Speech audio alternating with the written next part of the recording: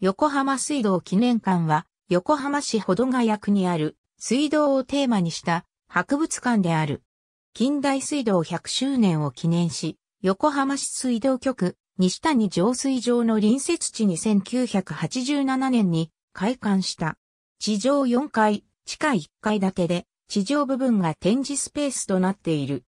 1階は近代水道の歴史、2階は現代の水道事業に関する展示が主で、3階は図書、資料コーナーと近代水道100選に選定された日本各地の水道施設の写真展示が行われている。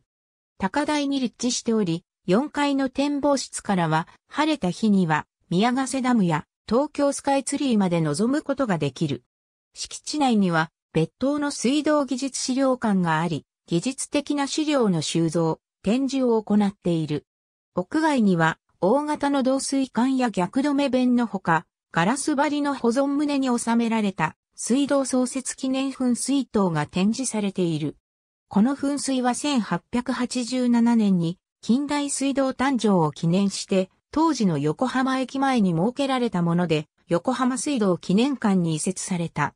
イギリスのジョサイア・コンドルが設計、アンドリュー・ファンディサイド社による制作で、イルカやライオンなどの装飾が施されており、ビクトリア朝時代に作られたことから、ビクトリアンファウンテンとも呼ばれる。近代水道100選に選定されており、レプリカが横浜市中区の港の見える丘公園と当時の水源地であった相模原市緑区にも設置されている。入場は無料で4月から8月までは第1月曜日、9月から3月までは毎週月曜日と祝日の翌日12月28日から1月4日までが休館日である。ありがとうございます。